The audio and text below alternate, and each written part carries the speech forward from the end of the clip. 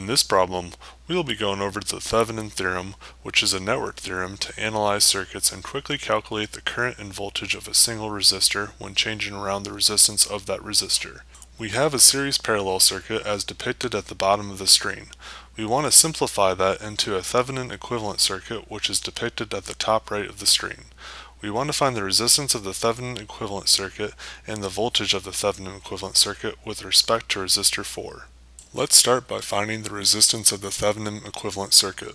We start by shorting the power supply, so 5 voltage source will now be out of the circuit.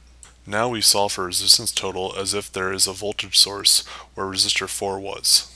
I will assume that you know the basics of parallel series circuits. If you don't, you can review some other videos on this channel. So to get the total resistance, we must take resistor 3 plus 1 over parentheses 1 over resistor 1 plus 1 over resistor 2 parentheses. After plugging in all of our resistors' resistances values, we get a Thevenin circuit resistance of 13.4 thousand ohms. Now let's solve for the voltage of the Thevenin circuit.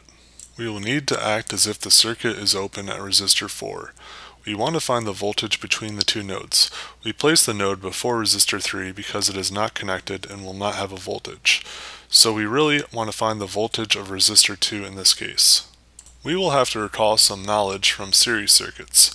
We get that the voltage over resistor 1 plus resistor 2 times resistor 2 equals the voltage for the Thevenin circuit. We simply found the current, then multiplied times the resistance of resistor 2 to get the voltage at resistor 2. After plugging in all of our numbers, we get a Thevenin voltage of 0.87 volts. So you're probably thinking, great, we have a Thevenin equivalent circuit. What is this used for?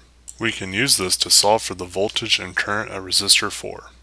The advantage of the Thevenin equivalent circuit is that you can plug in any resistance value for resistor 4 and quickly get an answer. We can plug in our resistance value of resistor 4 of 4.6 kiloohms into the Thevenin circuit. We can then use our knowledge of series circuits and solve for the current of resistor 4 when plugged into the Thevenin equivalent circuit. We can take the Thevenin voltage over the total resistance of this circuit and we get a current of 0.048 milliamps.